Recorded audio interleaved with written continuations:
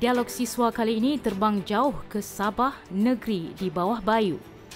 Memperkenalkan Timbalan Ketua Menteri Tiga dan Menteri Kerja Raya Sabah yang berhormat Datuk Insinyur Syahelmi Yahya dan Pengerusi Lembaga Pembangunan Perumahan dan Bandar Sabah yang berhormat Datuk Masyong Bana.